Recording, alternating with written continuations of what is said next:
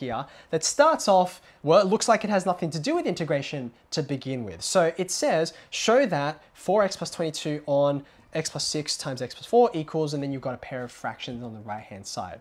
So when you're asked to show a result, what you need to do is to start with one side, the left or the right, and then work with it, simplify, manipulate, adjust it so that it looks like the other side.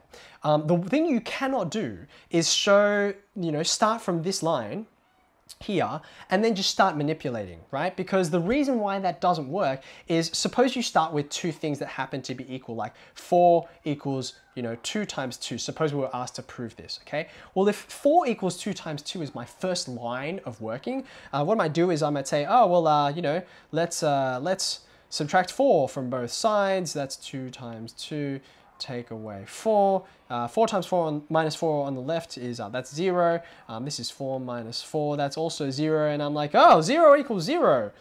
That's great, but it doesn't actually prove anything. Um, this doesn't constitute a proof. What you've got to do is start with one side and move to the other. So let's get rid of all of this when I have a look at this, um, for me, uh, most people's brains tends to go from complicated and messy to simple. And we've been training you for years to simplify algebraic expressions. So when I look at this, which side looks simpler? The left-hand side looks simpler. So I'm gonna make that my endpoint. The right-hand side looks messier, so I'm gonna start with that. I'm gonna write right-hand side, RHS, equals, I'm just gonna quote it, 2 over x plus 4 uh, plus 2x plus 10 all divided by x squared plus 10x plus 24. Now, when you're proving one of these things, I know I want to end up at the left-hand side, so I keep one eye on the algebra I'm manipulating, and then I keep my other eye on my destination, as it were, to make sure I'm getting closer at every step. Now I notice that the left-hand side is a single fraction, and the bottom there has been factorized. So what that suggests to me is that the two fractions I've just written on the right hand side need to be number one, factorized, and number two, combined into one fraction. So let's have a go at that. There's not much to factorize with this left-hand fraction, so I'm just gonna leave it for a brief moment. On the right-hand side here, I've got 2x plus 10, and then on the denominator, I've got this quadratic expression, x squared plus 10x plus 24. So if I want to factorize this, I'm searching for a pair of numbers, they add to 10, they multiply to 24, and you've got a big hint in the original question. I'm thinking that it's highly likely I'll end up with x plus 6 times x plus 4. And sure enough, if you go ahead and check the numbers, that is indeed what you get. So now I've got the factorizing down, that's good. What's left is to combine these two fractions into one. So in order to do that, I need a common denominator. Because I've already got this common factor of x plus 4, all I need to do is multiply the left-hand fraction by x plus 6 on x plus 6. So if I do that on the top, there's the numerator. Here's the denominator, x plus 6, x plus 4. Um, this fraction here hasn't changed, so I'm going to cheat a tiny bit, so this is faster for you to watch.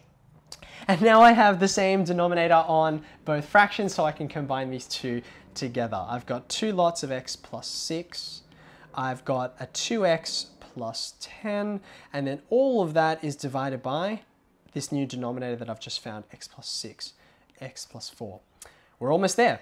On the numerator, again, looking back at where I need to end up, on the numerator, I just want to expand and collect like terms. So it seems to me I'm going to get 2x plus 12 plus 2x plus 10. That bit hasn't changed, so this is looking promising. I'm dividing by x plus 6, x plus 4, and now I'm pretty much there, aren't I? You can see the 2x plus 2x gives you 4x.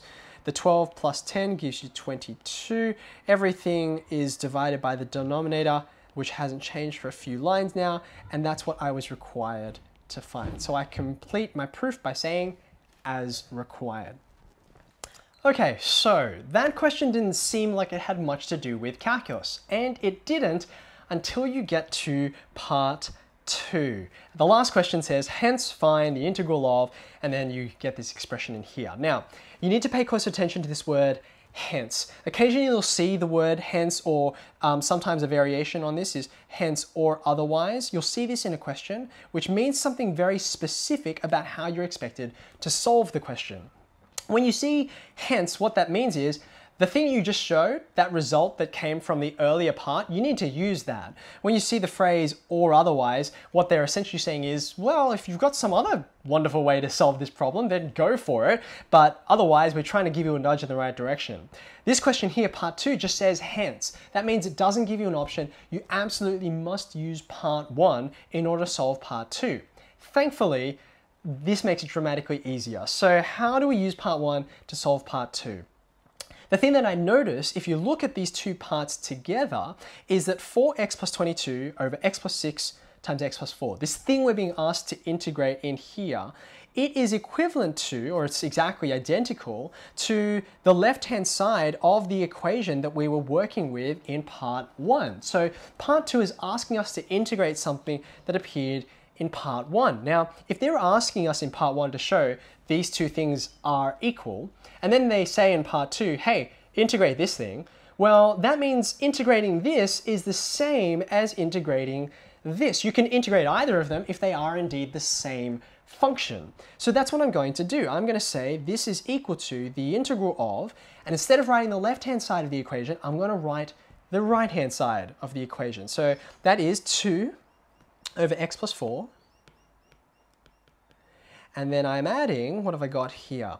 Um, 2x plus 10, lose track of myself, 2x plus 10 divided by x squared plus 10x plus 24. And all of that I'm integrating with respect to x. Now, how does this help at all? Like it's got more stuff in it. If anything, it's messier. It's messier, but it's messier in a way that's helpful because even though this is much longer than the you know thing that's being asked to integrate in part two, because it's longer, precisely because it's longer, I can tackle each part individually. So let's have a look at the first expression, 2 over x plus 4. What's this equal to? When I integrate, it's going to be 2 natural log of x plus 4. And again, I've got those absolute value signs there. Then when I have a look at the next one, 2x plus 10. Look carefully at that.